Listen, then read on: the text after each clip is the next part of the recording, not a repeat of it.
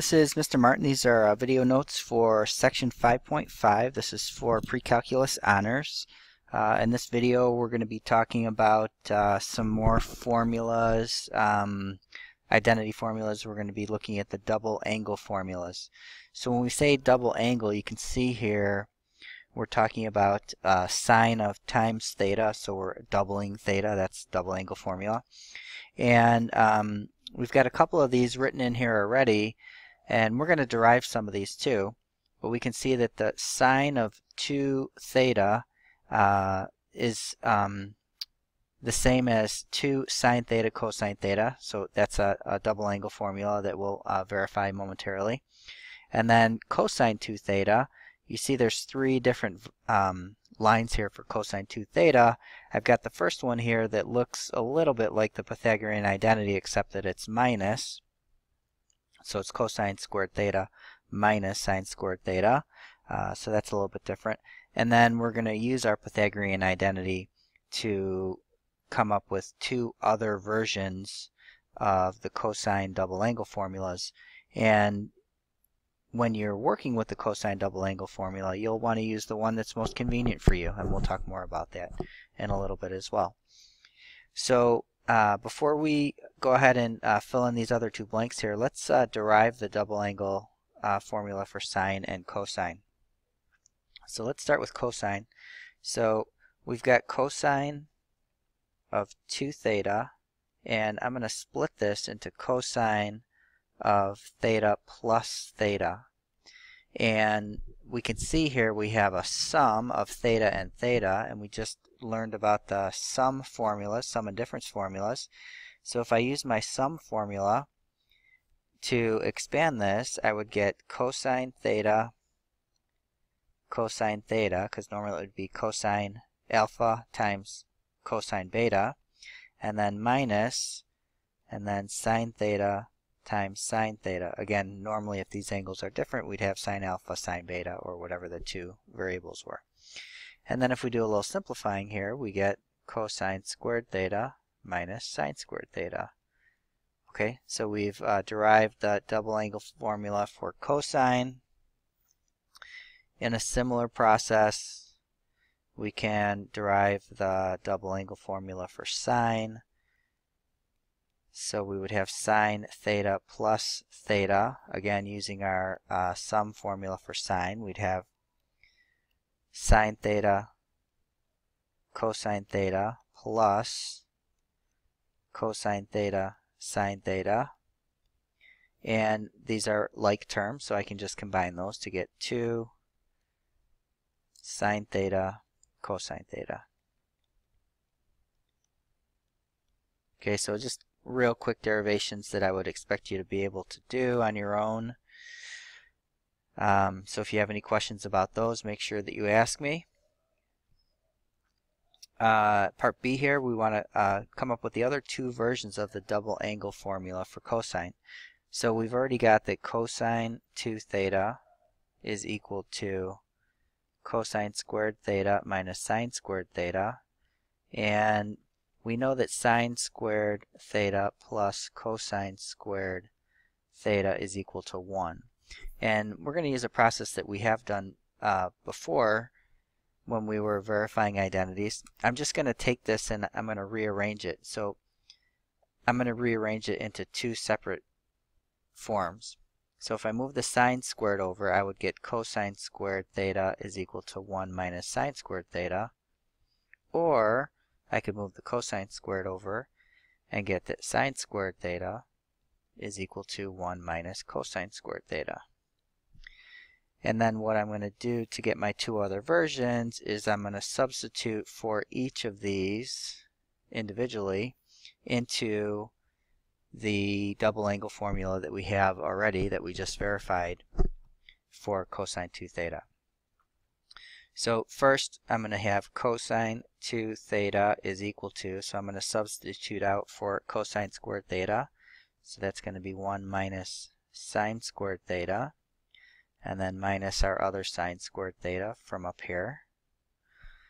And if I combine like terms here, I get 1 minus 2 sine squared theta. So this would be another version for us. So let's go back up here and fill that in. I've got 1 minus 2 sine squared theta. Pause as needed. And then let's get the other one. So I've got cosine of 2 theta. Now I'm going to substitute in for cosine squared theta. So cosine squared is 1 minus, I'm sorry, we're going to substitute in for sine squared.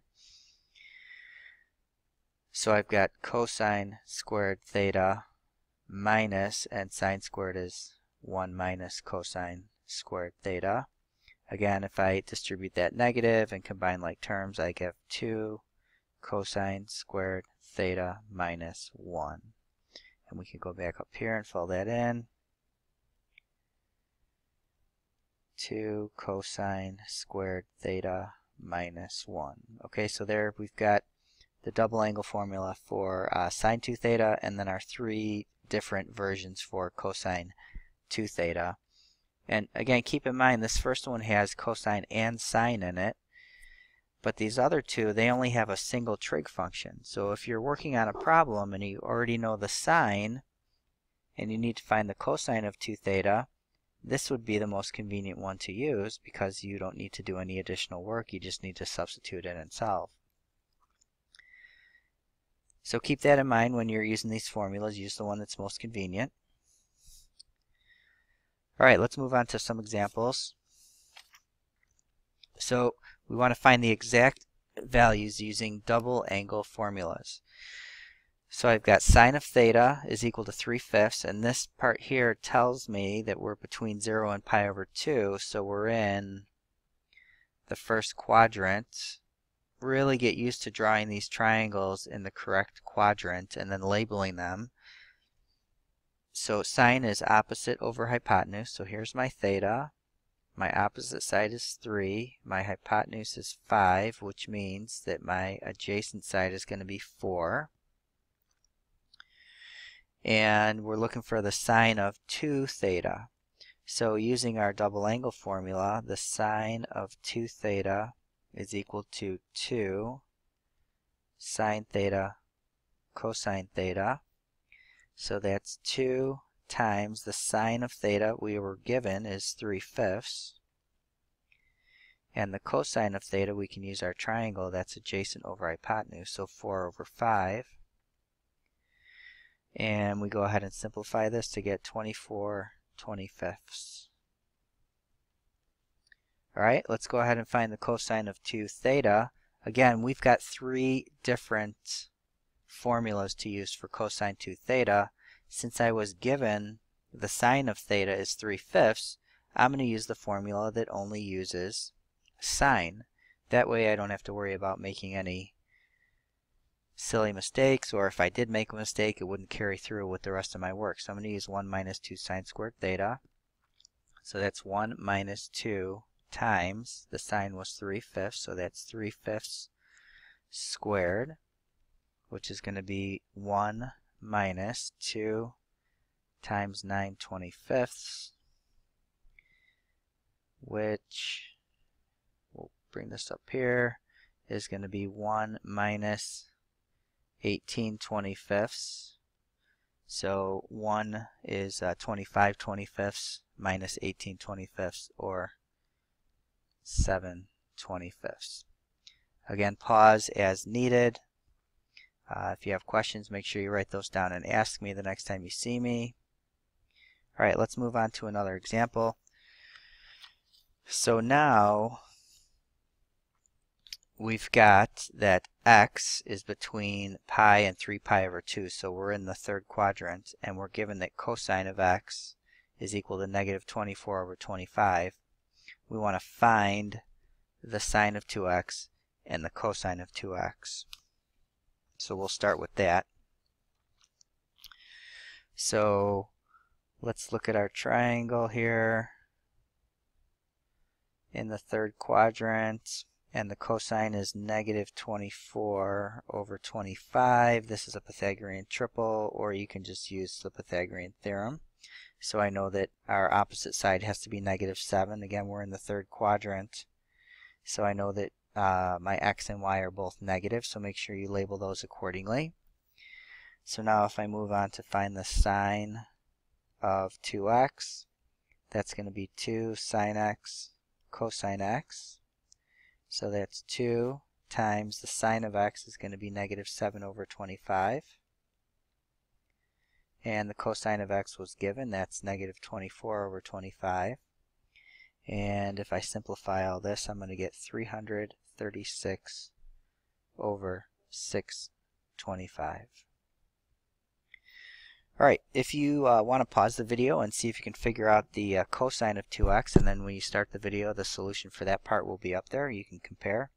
Uh, go ahead and do that, or just wait and the solution will pop right up. So uh, if you're going to pause, pause now.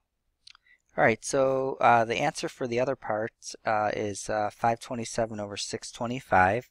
I chose to use this version of the double angle formula for cosine because I was given the cosine up here and I don't have to worry about uh, any uh, calculation mistakes that I might have made. I'm just using a problem that was given to us. So uh, again, if you have questions, make sure you ask. And let's move on to example 3. Um, we want to derive the formula for the tangent of 2 theta in terms of tangent theta. And again, if you uh, want to pause the video and try and work this out on your own, I would just have you start with tangent of theta plus theta and then use our uh, sum formula for tangent to help us derive this. Um, so again, if you want to pause the video and see if you can work this out. Otherwise, I'm going to go ahead and uh, work this through. So using our uh, sum and difference formulas, the sum formula for tangent, we would have tangent alpha plus tangent beta, so it's our alpha and beta are both the same here, so tan theta plus tan theta all over 1 minus, and then we'd have tan alpha times tan beta, so it's just tan theta times tan theta again. And then if we do a little bit of simplifying, uh, combine like terms in the numerator, I have 2 tan theta and a little simplifying in the bottom, I have 1 minus tan squared theta. So we get that the double angle formula for 2 tangent 2 theta is going to be 2 tan theta over 1 minus tan squared theta. So one more double angle formula for us. Okay, let's go on to one more thing before we finish up here. Um, actually, I'm going to uh, just leave this up to you. Here's our power reducing formulas. And uh, what I want you to see if you could do it is to uh, derive uh, the sine squared theta identity. So see if you can derive this. Um, and we'll talk about that next time uh, I see you in class. Make sure, again, that you've uh, written down any questions that you have and uh, ask me next time you see me.